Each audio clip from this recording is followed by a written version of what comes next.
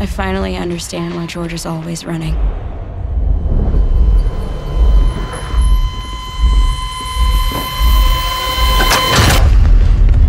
I don't know how she does it.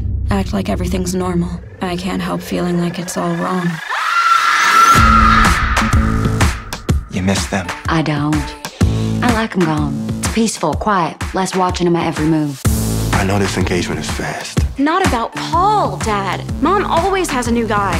She farts and like eight guys fall in love with her. I am loving this, really making me feel good. I was a different person when I moved here. I didn't have a future before, a career, real friends. I know things have been tense, You embezzled funds and then threatened me. and I apologize for that. No, actually, you didn't. Nick, I'm very sorry. Ginny, your mom is a dangerous person. I know you think she wouldn't hurt you or your brother, but that doesn't mean she wouldn't hurt someone else.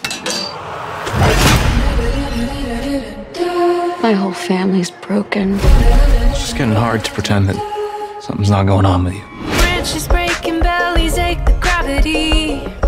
It's always pulling us down. You're the one in the wrong here. I feel like what I'm going through and who I am is just completely invisible to you. When I fall, you help me stand alone. You make sense to me.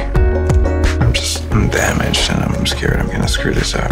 I can't tell if I'm the crazy one or if everyone else is. Oh, you're crazy. Run off into the wild. You always do this. You cut and run when things get hard. I'm not normal.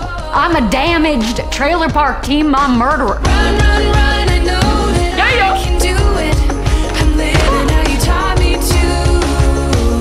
believe someone like you came from someone like me.